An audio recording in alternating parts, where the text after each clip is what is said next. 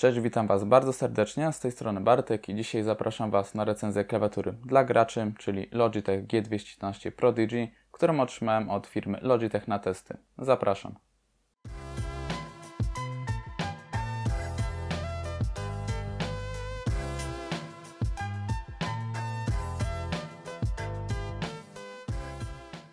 Omawianie klawiatury zaczniemy od jej wyglądu, jakości wykonania, funkcji, a następnie przejdziemy do oprogramowania, z którego możemy korzystać. Logitech G213 Prodigy to klawiatura z serii G, czyli przeznaczona jest dla graczy. Jest ona sporych rozmiarów, jej wymiary wyglądają następująco. Wysokość 218, szerokość 452, głębokość 33 mm, a waga to 1 kg. Klawiatura wykonana jest dobrej jakości plastiku, powierzchnia jest matowa, co jest dla mnie osobiście bardzo dużym plusem.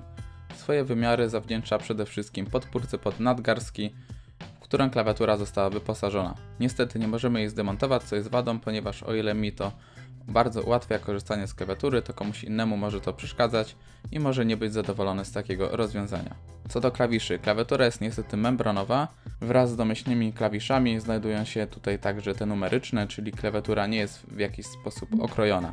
Poza nimi w górnej części po prawej stronie znajdziemy dwa okrągłe przyciski. Jeden służy do włączenia trybu gracza, w którym wyłącza się m.in. klawisz Windows i tym podobne oraz drugi do włączenia lub wyłączenia podświetlenia, o którym powiem za chwilę więcej. Warto jeszcze tutaj zaznaczyć, że producent chwali się, że klawiatura jest około 4 razy szybsza od innych klawiatur, jej czas reakcji wynosi 2 milisekundy, a sama klawiatura jest odporna na zachlapania, było to sprawdzone do 60 ml wody. Na lewo znajdują się cztery diody, które informują nas o włączeniu m.in. caps locka y, czy trybu gracza. W klawiaturze za 300 zł nie mogło zabraknąć oczywiście klawiszy multimedialnych. Te znajdują się w prawym górnym rogu, tuż nad klawiszami numerycznymi.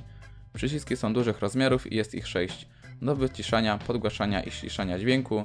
Następne służą do obsługi plików multimedialnych, czyli pauzowania, wznawiania, przerwania oraz przewijania np. utworów muzycznych. Tak jak wspominałem, klawiatura jest wyposażona w podświetlenie RGB, czyli mamy dostęp do 16,8 miliona kolorów. Oprócz klawiszy podświetlane jest także logo G, co według mnie y, bardzo poprawia wygląd klawiatury. Do skonfigurowania podświetlenia posłuży nam aplikacja Logitech Gaming Software, której mamy 5 osobnych stref.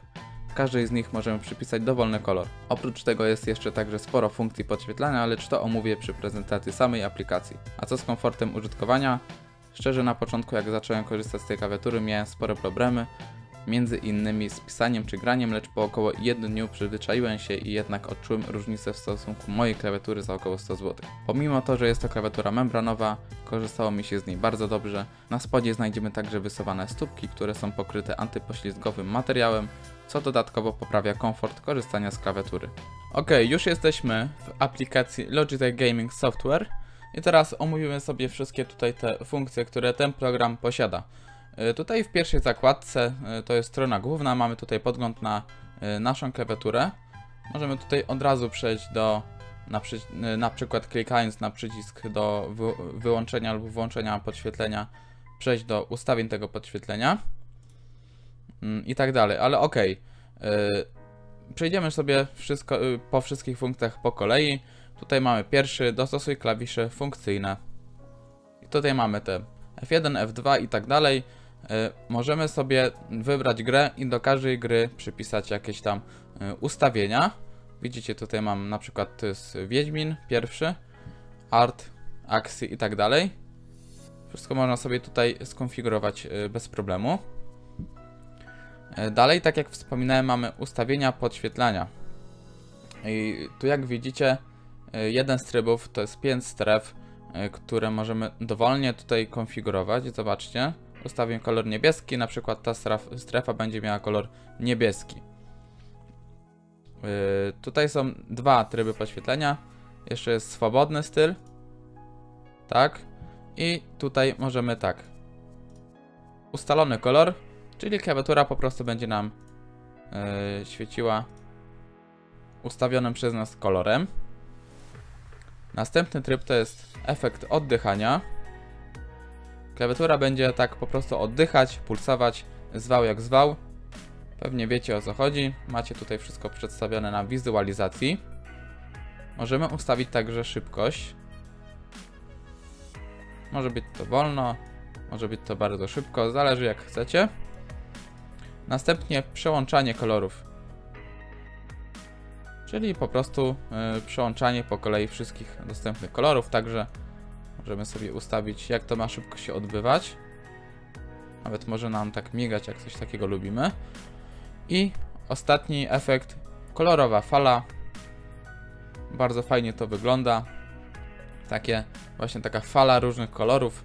Także możemy tutaj ustawić, jak szybko ma się to odbywać. Bardzo chyba najciekaw... według mnie najciekawszy efekt z tych wszystkich. E, dalej mamy ustawienia trybu gry. I tutaj także możemy sobie, o, mamy na przykład y, wyłączone te klawisze. Mm, to jest właśnie ten tryb gry, który wciskamy tym okrągłym klawiszem na klawiaturze. Y, także możemy sobie do każdej gry osobno tutaj y, skonfigurować taki profil. I ostatni analiza danych wejściowych. Najczęściej używane tutaj klawisze nam pokazuje. Fajna sprawa. E, w ustawieniach to nic takiego ciekawego. Możemy sobie zresetować ustawienia, e, zaznaczyć czy program ma się uruchamiać i tak dalej. E, zresetować do ustawień domyślnych to tak naprawdę nie jest zbytnio ważne przy tej recenzji. I teraz tak, co do tych trybów gry. Bardzo mi się podoba funkcja, którą ostatnio tutaj odkryłem, to jest chyba domyślny profil.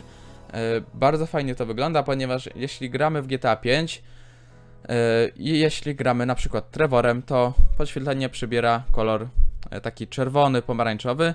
Jeśli gramy Franklinem, to jest to kolor zielony. A jak gramy Michaelem, to jest kolor niebieski. Bardzo fajnie to wygląda, mi się ta funkcja bardzo spodobała. E, także to jest plus. E, I to chyba wszystko z tej aplikacji. E, naprawdę szkoda, że nie można sobie pod, podświetlić konkretnych klawiszy. Dla mnie to jest duży minus, ponieważ już no, ta klawiatura no, kosztuje te 300 zł. Mm, nie jest to klawiatura mechaniczna, czyli oczekiwałoby się y, tutaj od tego podświetlenia czegoś, czegoś trochę więcej, tak? Y, tu na przykład to podświetlenie innym kolorem WSAD, y, czy tutaj na przykład kontrola alta, bardzo by się przydało, ułatwiłoby grę, lepiej by to wyglądało. I to taki jeden minus tutaj związany z tym podświetleniem. Także ja Was teraz zapraszam na podsumowanie. Podsumowując, klawiatura mi się naprawdę bardzo spodobała, nie miałem z nią żadnych problemów, komfort użytkowania jest naprawdę bardzo dobry. Mamy tutaj dużo funkcji, np. konfigurowanie podświetlenia, yy, konfigurowanie trybów dla gracza, dla poszczególnych gier, także ja klawiaturę od siebie polecam. Naprawdę korzystało mi się z niej bardzo dobrze i bez problemu mogę Wam polecić zakup tej klawiatury. E, linki znajdziecie w opisie do Cenao, tam możecie sobie zobaczyć e, ile ta klawiatura aktualnie kosztuje w poszczególnych sklepach. A ja Wam bardzo dziękuję za uwagę, cześć, na razie, do następnego razu.